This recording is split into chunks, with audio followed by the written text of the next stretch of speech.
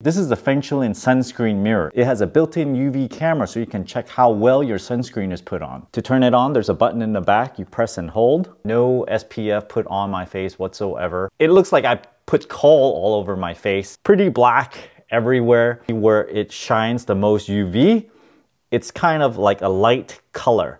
And you look at my teeth, oh my gosh, it looks crazy. As a first experiment, I have chapstick that has no SPF on it. Let me put it on. Oh. Well, maybe it has SPF on it after all. Okay, let me wipe that off.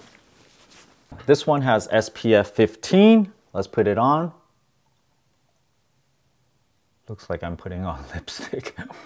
kind of weird looking. There's like a little darker spot here. There's like little spots here and there. Garnier Skin Active Lotion that I put on at night. Let's see if it does have, oh look. Yeah, it has no SPF whatsoever. So I think this green tea thing uh, does have SPF on it and it looks like maybe even 20 or 30 SPF. I did not know that about this. Here I have a Neutrogena Visibly Even with SPF 30 on it. I have to cut it open because there's not much left in here. It looks visibly black.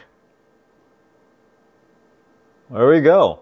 Well, normally, this is how much I would put on. Let me just put it on my half of my face. Put my put it on my eye. On my hands. It got all over.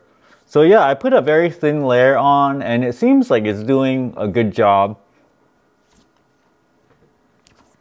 Wow, completely black. They have this UV test card over here so you can see what the SPF level is on your face. This stuff I put on is SPF 30. The second to the last marker here is SPF 30. So I'm comparing it to my face, my eye, my forehead. Yeah, it kind of looks even higher than that.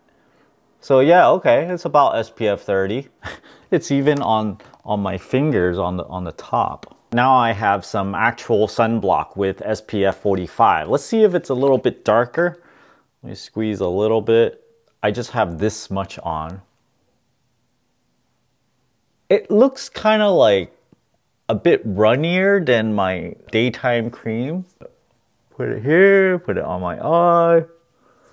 So I got 45 on my left side, 30 on my right side. It looks pretty similar to me. With the UV thing, I'm like, oh wow, I really didn't put any on my ear. So I can go ahead and do that because I missed that. Maybe around my neck here. It looks like you know, I have SPF 50 on on both sides. If I look kind of close, yeah, there we go. So you can kind of use this, kind of shine around your face to see if you missed a spot or something. So this would be really good. It comes in this box. You pull it out. There's the instruction manual, the UV card. It charges via USB-C. There's a little cleaning cloth on it. Hope you guys enjoyed this video. Thanks for watching.